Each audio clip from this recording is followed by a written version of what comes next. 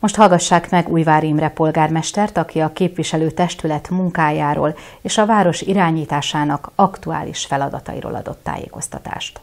A közelmúlt eseményeiről, illetve feladatairól kérdezzük polgármester urat. Képviselőtestületi ülésen érdemes mindig egy kicsit visszatekinteni, mert ott születnek meg a legfontosabb döntések. Ezért kérdezem arról, hogy két terület névadása, két közterület névadása történt meg az utóbbi testületi ülésen. Ez hogyan zajlik a városban? Ritkán hallunk ilyesmiről. Ezen a téren van mit bepótolni, tehát mi fontosnak tartjuk, hogy ápoljuk a történelmi hagyományainkat, és azért tudva levő, hogy itt 1848-as, 49-es események kapcsán is nagyon sok olyan dolog történt, ami, ami azért országosan is hírértékkel bírt, de mondhatnánk más történelmi korszakot is, aminek a nyomait vagy az emlékét itt hordozzuk Tiszafüreden a településünkön, és ezekről mi úgy gondoljuk, hogy meg kell emlékezni, ezeket a hagyományokat ápolni kell. Ugye egy olyan világban élünk, ahol ugye a digitális dolgok kezdenek teret nyerni, sokszor már egy könyvet se fogunk a kézbe, pedig azért én azt gondolom, hogy azért az, az egy nagyon jó dolog, ha, ha olvasnak, és a fiataljainkat rá tudjuk bírni, hogy azért a, a múltat ne felejtsék el, hanem emlékezzünk vissza arra, hogy mi történt, és abból erőt merítve tudjunk a jövőre előre tekinteni. Nos, a képviselőtestületet is az motiválta, hogy a városunk történelmi hagyományait ápoljuk, azokat a személyeket, akik a településünkért tett vagy zajlott tevékenységük során hírnevet szereztek, vagy, vagy olyan dolgot tettek a városért, ami, ami fontos róluk megemlékezzünk, és hát ez is motiválta azt, hogy, hogy itt a megszépült, megújult városháza előtti térnek egy olyan nevet adjunk, aki, tehát ugye Kispál honvédtábornoknak az emlékével kapcsolatban, akinek a múltban olyan eredményei vannak, amelyek említésre méltóak, illetve hát van kötődése ehhez a házhoz, hiszen ugye korábban fizikailag is ide kötődött, tehát így adott volt minden, hogy Kispátér legyen a neve. Egyébként a pénzügyi bizottságnak volt egy ilyen módosító javaslata, amelyet elfogadott a testület, ugye ez volt az egyik ilyen köztület elnevezés, a másik pedig ugye a Lipcsei Kúria, ahol most jelenleg a Kispán Múzeum működik. Annak a a, a, a múzeumot körülvevő, a Lipcsei Kóriát körülvevő terület az már nagyon régen a köznyelben Lipcsei kert néven híresült el. Igen, itt és csak ezért, kiegészítették ezért a meglévő a, a Lipcsei család, a, a Lipcseiek emléke is egy olyan történelmi emlék, egy olyan, olyan múlt, hiszen abban a házban, abban a kúriában volt a főhadiszállás, ott tanácskoztak a honvédtisztek a 1848-as, 49-es eseményeknek, a, a tavaszi hadjáratnak az indításakor. Tehát én azt gondolom, hogy az is méltó helyére került ezzel az elnevezéssel, hogy, hogy végre hivatalosan is egy, egy, egy elnevezés kapott, az, az egyébként nagyon szép park. Említette ezt a bizonyos Kispál teret. Valami másfajta emlék esetleg van-e a tervek között, amivel Kispál tábornok emlékét, tiszteletét ki tudják fejezni, mert igazából a sír emlékén kívül és egy utcán kívül nincs másfajta emlékünk.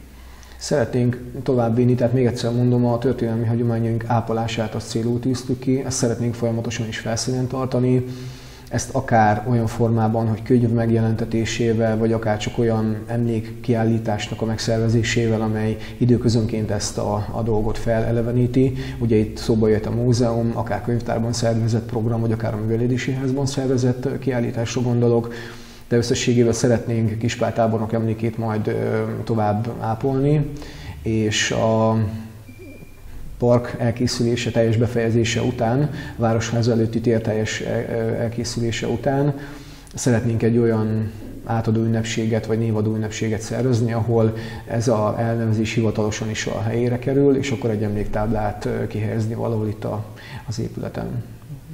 Itt, ahogyan bejöttünk, tulajdonképpen minden nap új és új arcát mutatja ez a kialakuló kis tér.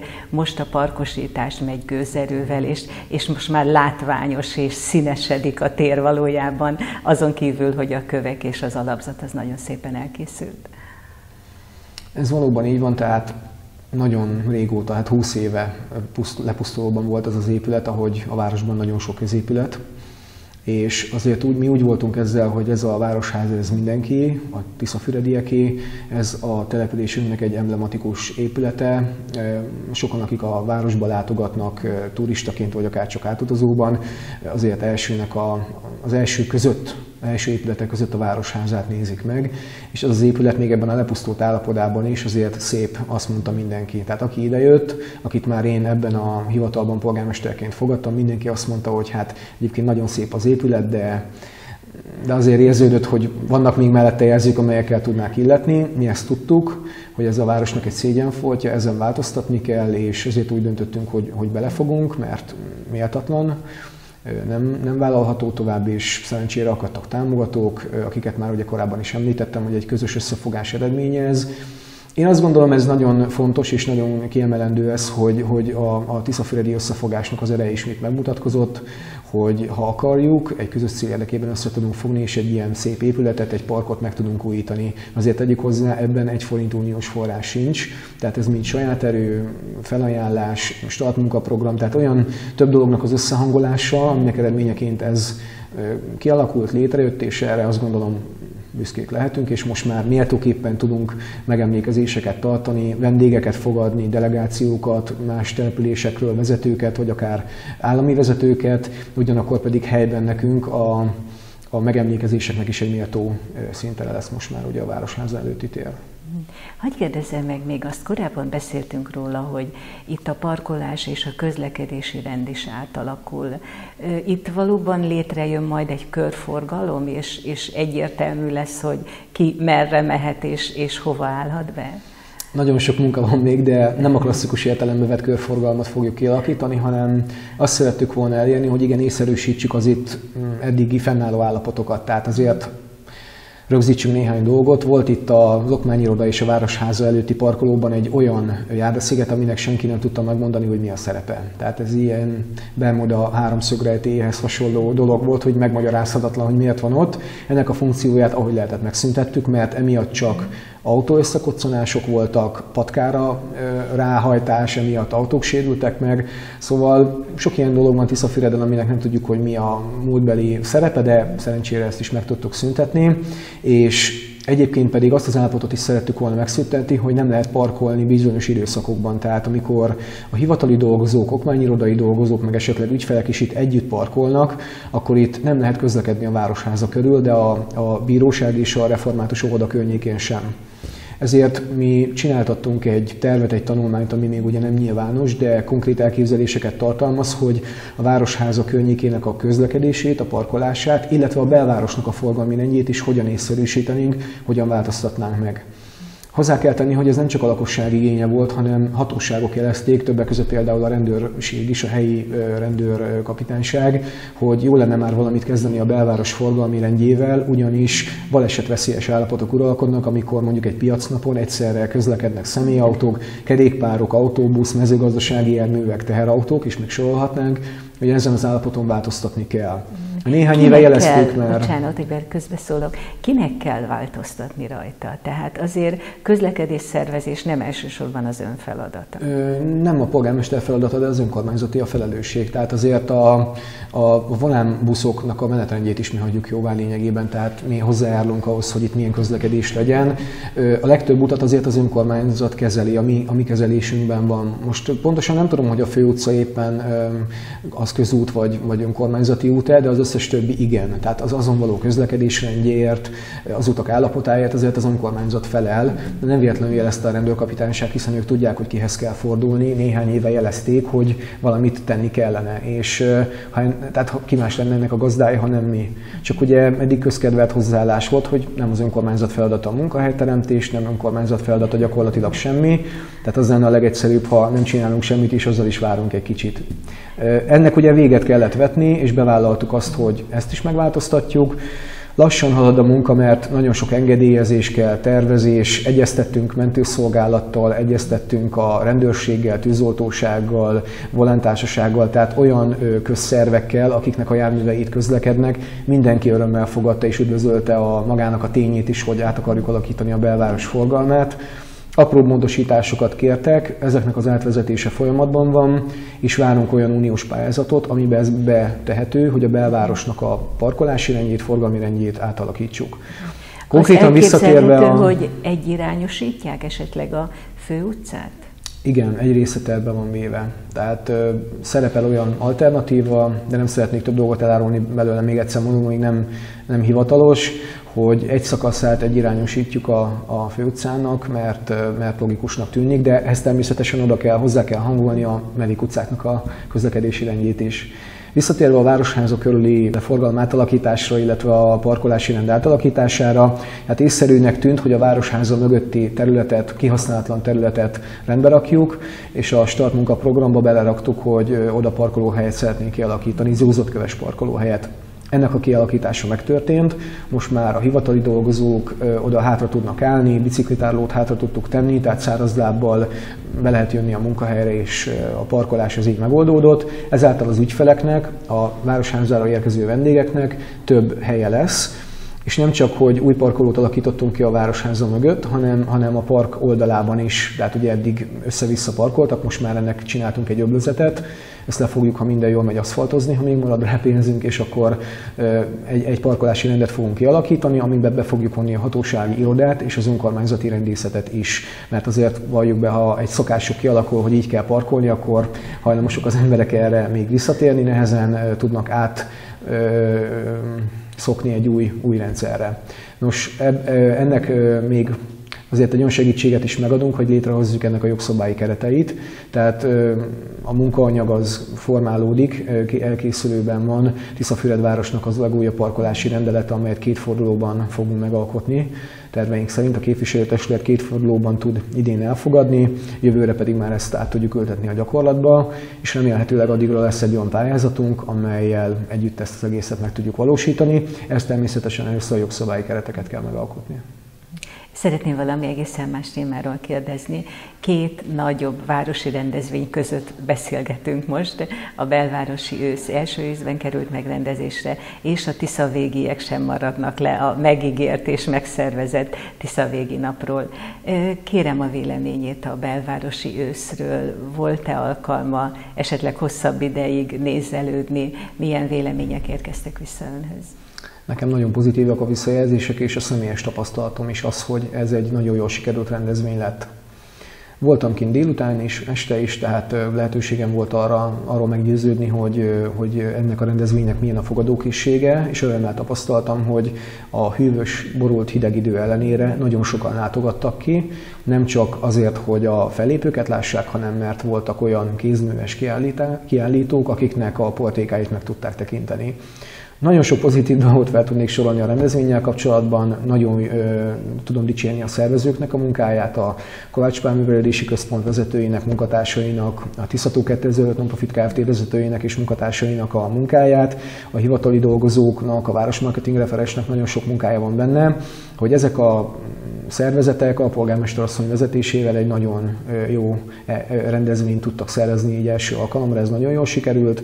Ami nekem különösen fontos, hogy hogy az úgymond egyéb árusítókat sikerült most más rendezvényekre terelni, és tényleg olyan, olyan, olyan kézműveseknek adtak otthont ezek a faházak, amelyeket egy évbe szereztünk, amelyek én úgy gondolom, hogy tényleg célt értünk ezzel a, a, a tevékenységünkkel, hogy végre magyar kézműves termékek kerülnek bemutatásra. Ugye a rendezvény is bor, sör és sajt fesztivál néven futott, vagy lett egybe gyúrva, ugye két rendezvény is, de összességében azt a célt szolgálná, hogy a helyi kézműves termékeket, a magyar dolgokat be tudjuk mutatni, és az egyéb mindenféle hamisított vagy másolatként előjött dolgok itt helyet kapjanak. Tehát itt a műanyag és az egyéb az maradjon a az egyéb rendezvényekre, itt pedig itt ezek kaptak helyet. Még ha kevés is volt, de azért csak ez megadta a rendezvénynek a jellegét, és a felépőknek a lekötése is jól le lett találva, tehát összességében nagyon jól sikerült rendezvény volt, baleset nem történt, mindenki jól érezte magát, és bebizonyosodott, hogy a Tiszafredieknek, a helyieknek van igénye ősszel is rendezvényre helyre. Tehát megdőlt az a állítás, hogy egy, esetleg egy rosszabbul sikerült néhány napi rendezvény miatt akkor fújjunk le mindent, és nem kell akkor itt csinálni semmit, mert egyszer ez nem jól sikerült. Én azt gondolom, nem kell a kardunkba dőlni és elveszékelni azért, mert egy rendezvény nem sikerül jól. Hát erre vállalkoztunk, hogy addig próbálkozunk, amíg nem lesz jó. Nyilván túl sokszor hibázni nem szabad, de ez a belvárosi rész az nagyon jól sikerült, és én abban bízom, hogy a Tisza végén nap is nagyon jól sikerül, amire pedig ígéretet tettünk, hogy ez egy állandó városi rendezvény lesz. Ugye ez először tavalyi választás alkalmával került megrendezésre, és hát ott Stolz Márton képviselőtársam személybe egy jó gazdára talált az a városrész, és ő mindent megtesz azért, hogy a Tisza végiek nem maradjanak rendezvény nélkül, így pedig nekünk sincs más teendőnk, mint hogy beállni mögé, és egy ilyen rendezvényt támogatni.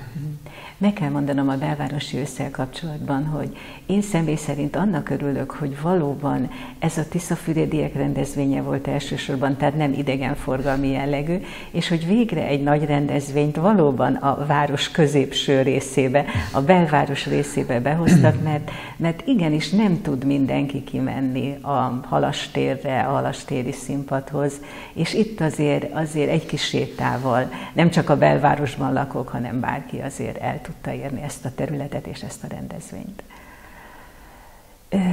Őszi idő van, ez mennyiben nehezíti a szervezőknek a dolgát, vagyis hogy kiszámíthatatlan az időjárás?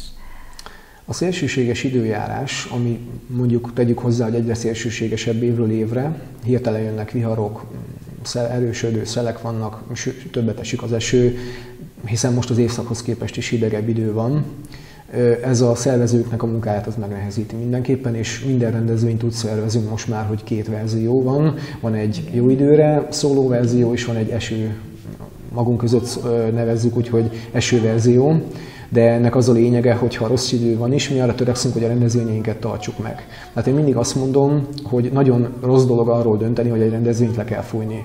Szerencsére eddig ennek nagyon kevésszer kellett előfordulnia, és mondhatnánk a majális példaként, amikor nagyon rossznak indult az időjárás, de a végére több ezeren látogattak ki a halastérre, akkor is hűvös volt, gyakorlatilag az eső lába végig lógott, de a rendezvény meg lett tartva, nem hátráltunk meg, pedig szervező kollégáim már azt mondták, hogy szerintük az lenne a legjobb, hogyha lefújnánk, de én azt gondolom, hogy a Tiszafüredieknek csak úgy tudunk örömet okozni, hogyha merünk kockáztatni és a rendezvényeket megmerjük tartani, nem mellékesen pedig rengeteg munkánk van az ilyeneknek a szervezésében.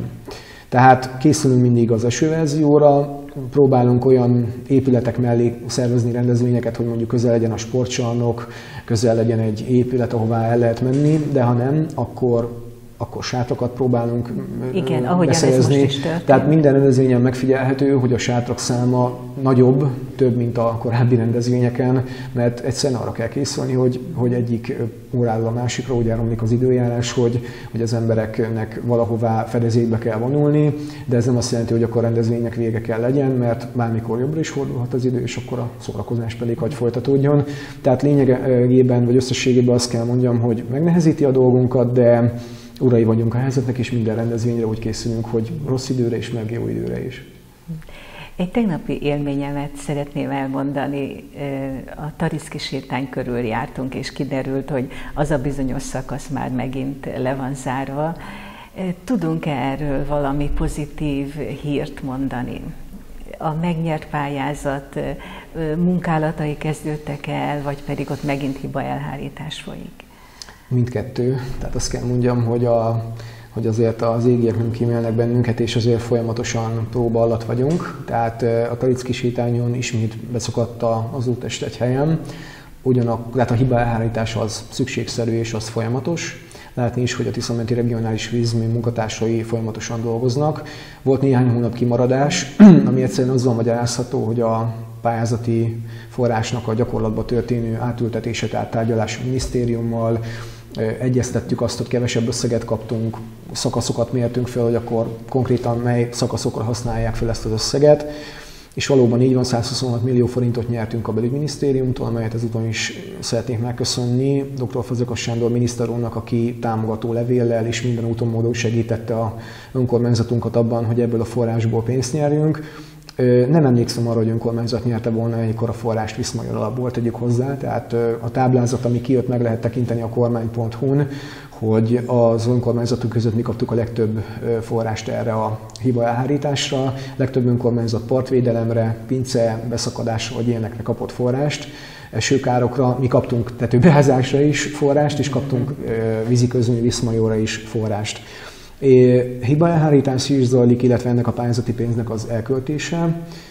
Ha minden jól megy, akkor a Talicki sétány, Adi Endre út, Kossuth tér szakaszon, egészen a főutcáig, a, a rendőrség előtti aknáig ki fogják cserélni a vezetéket. Az körülbelül a fele az összes Sajnos nem. kilométernek? Egy harmada, tehát ez körülbelül olyan 600 méter, egészen pontosan talán 592 méter.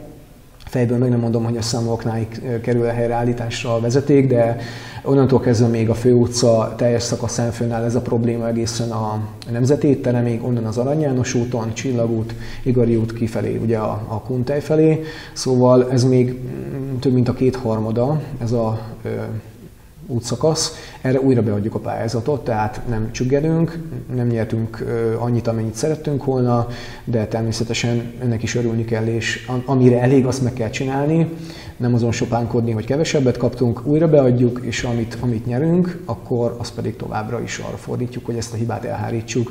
Ami jó hír, mi azt kértük a kivitelezőtől, hogy lehetőség szerint úgy cseréljék ki a vezetéket, hogy ne forduljon elő az, ami mondjuk a Szőlősi úton vagy az Igari úton, hogy a, a vezeték cseréből adódó, vagy a vezetékjavítási munkákból adódóan az úton van egy csík, ami utána beszakad, és gyakorlatilag balkáni állapotok állnak elő az úttesten, tehát itt teljes pályás úthelyreállítást kértünk, hogy azért a város főutcáján ne menjen már középen egy teljesen az aszfalt színétől is eltérő csík, mert nem csak hogy esztétikus, nem, nem esztétikus, hanem, hanem, hanem balesetveszélyes, és kikezdi az időjárást. Tehát mi azt szeretnénk, hogy, hogy itt ne kelljen már egyébként utána bosszonkodni azon, hogy a, a hiba elhárítás után meg az úttest nem jó, az úttest állapota, tehát azt kértük, hogy a vezeték cseréje után a teljes útpályát azt állítsák helyre, kap egy új aszfaltot, és akkor utána a következő munkára kell koncentrálni. Én nagyon bízom abban, hogy a Talicki sétányon lakók visszakapják az utcájukat és a város is.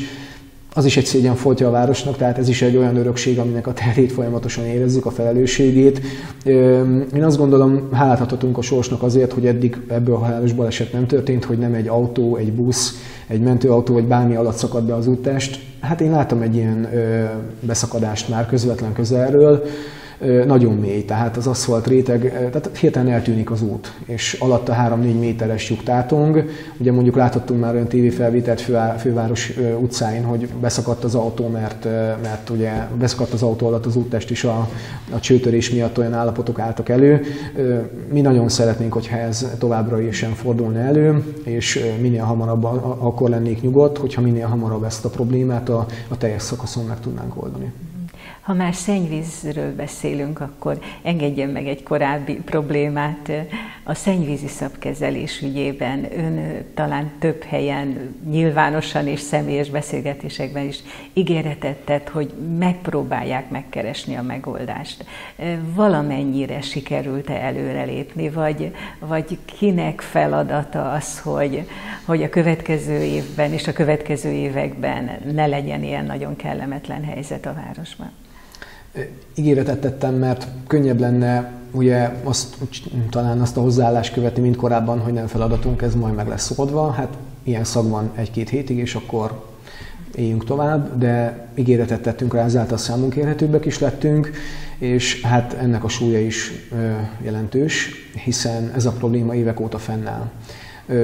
Tárgyaltunk már a Tiszamenti Regionális Vízművel, tárgyaltunk minisztériummal, tárgyaltunk szakhatósággal, legutóbb dr. Harka Ákos tanár úr volt bent az önkormányzatnál, és ajánlotta fel segítségét, mert ő is tudja, hogy ez egy olyan megörökölt probléma, amiről nem most a jellegi vezetés tehet, de viszont nekünk a felelősségünk, hogy ezért tegyünk valamit. Tehát nem lehet azt mondani, hogy egyébként a szolgáltatónak a problémája, ez, mivel itt élünk, ettől a problémától mi tiszafürediek szenvedünk egytől egyig, ezért ezt nekünk kell megoldani, és ebben a városvezetésnek tehát nekünk is felelősségünk van. Ezért megyünk a megoldás után, és minden jó szándékú segítséget szívesen fogadunk. Ezt tette dr. Halka Ákos tanár úr is, aki bejött, és elmondta, hogy neki van egy olyan speciális eljárásról tudomása, amelyel ez a kellemetlen szakhatás, nem csak, hogy csökkenthető, talán meg is szüntethető, és természetesen kaptunk az alkalman, úgyhogy a következő egyeztetésre már olyan körben kerül sor, hogy a Tiszamenti Regionális Vízműnek a munkatársai igazgatói szinten, döntéshozói szinten leüljünk, átbeszéljük ezt a megoldási lehetőséget, több is van ilyen, amit, amit keresünk, többféle megoldás. Ugye egy olyan üzem vagy, vagy műnek az elkészítése a szennyvíziszap tároló mellé, hát ami igen, a probléma helyben sok történő. Pénz kell, sajnos. Erre sok millió forint kell a első leges óvatos becsések szerint is, tehát ez ez a hosszú távú és a költségesebb megoldás, viszont ez tényleg hosszú távra hatékonyan megoldja. Azonban a probléma jövőre is fönn fog állni, ezzel jövőre is kezdeni kell valamit, tehát átmeneti megoldásként olyat tudunk elképzelni, hogy más földre vitetjük távolabb a várostól, a széljárás ne olyan legyen, ami az uralkodó széljárás, ami, ami egyébként kedvezőtlen. Tehát sok olyan összetevő van környezeti, időjárásbeli és egyéb együttható, aminek úgy, úgy kell együtt lennie, összeállnia, hogy ez a probléma ne legyen érezhető, ne szenvedjenek ettől az itt lakók. Azt azonban hozzá kell tenni, hogy, hogy ez a megyében ritka, hogy, hogy ilyen helyen van a szennyvízi szaptelep. Tehát ezt azért elmondta a szolgáltató is, hogy nagy területen szolgáltatnak, de kevés olyat helyet látott, ahol a szennyvízi szaptárló ennyire közel van közel a városhoz. Város. Ezt jobb helyeken már vagy uniós pályázatból, vagy eleve úgy oldották meg, úgy építették meg, hogy, hogy távolabb tették. És még hozzá kell tenni, hogy elavult természetesen az egész technológia, ettől már vannak jobb megoldások is most nekünk ezután kell menni. Addig én mindenkitől a türelmet és megértést kérek. Tudom, hogy ez könnyű akkor mondani, amikor a probléma meg ott van, és ugye mindenki bosszús, a, a vendéglátósok, mert a turisták panaszkodnak, de ez a probléma nem most kezdődött. Tehát Korábban arra sem vették a fáradtságot, hogy leüljön a városvezetés a Tiszamenti Regionális Vízművel, ezt itt a helyi üzemegység vezető így el is mondta a testületi ülésen, tehát nem véletlenül kérdeztem rá. Most rajtunk van a probléma, megpróbáljuk megoldani, nagyon remélem, hogy meg is fogjuk, ebben elszántak vagyunk, de ehhez idő kell és türelem. Meg kell mondanom önnek, hogy nem olyan régen Tisza Szent Imrén jártunk, ahol a teljes szennyvízrendszert és a szennyvíztisztító művet építették ki másfél milliárdos uniós támogatásból és sajnos ott sem oldották meg, ott is ugyanúgy, ahogy mi nálunk, pedig az egy teljesen modern tervezés és építés, ott is ugyanúgy a termőföldre fogják a szennyvízi szapot kivinni. Hát nem tudom majd a szentimreiek ezt hogyan viselik el. Mi azért nyáron, főleg a nyári nagyhőségben nehezen viseljük. Nézd, az biztos, hogy az nem lehet igaz a piszafüredieknek, hogy régi probléma, meg elavult a szemüvíztelep, meg, meg nincs még ott mellette olyan üzem, meg hogy máshol is ez a megoldás. Ez az embereket nem érdekli, egyszerűen elfogyott a célra, elfogyott a türelem a korábbi évek tétlensége, meg, meg tehetetlensége miatt. Ö, meg kell oldani. Tehát itt meg kell oldani a beltőbeázásokat, meg kell oldani a szennyvíz, vagy az útesbeszakadásokat, meg kell oldani a kellemetlen szakatást. Itt már nem lehet azt mondani, hogy majd megoldjuk, meg itt meg ott van a probléma, és akkor legyenek türelemmel mert, mert majd megoldja más. Nekünk kell megoldani, valószínű, hogy egy éve voltak nagyjából pont a választások, az azért hozott ekkora változás, mert az embereknek erre van igénye, hogy változtatni kell, és ez mindenre ugyanakkor akkor üzenet, ez minden, minden egyes feladat felé. Én ezt mondom a munkatársaimnak is, hogy minden egyes apró újítás vagy, vagy javítás az ebbe az irányba kell, hogy menjen, hogy az emberek életminősége, életeit jobb legyen a városban, tehát meg kell oldani mindent, amit lehet. Mhm. Köszönöm szépen, ez végszónak jó is, és feladat természetesen az ön számára megoldani mindent minél hamarabb. Köszönöm a lehetőséget.